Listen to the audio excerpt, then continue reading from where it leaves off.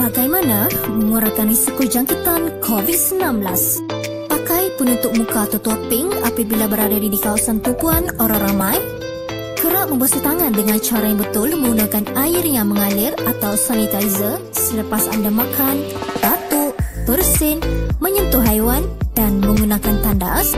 Kuman mudah tersebar di permukaan seperti susu tangan eskalator, troli, tombol pintu, butang lift dan butang ATM Elakkan berada di kawasan sesak dengan orang ramai seperti pasar malam, kompleks membeli belah dan jauhkan diri anda daripada orang yang tidak sihat seperti batuk dan sesama.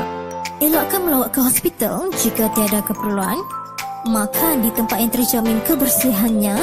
Utamakan kebersihan diri di rumah maupun di tempat kerja. Untuk maklumat lanjut, layari portal rasmi Kementerian Kesihatan Malaysia.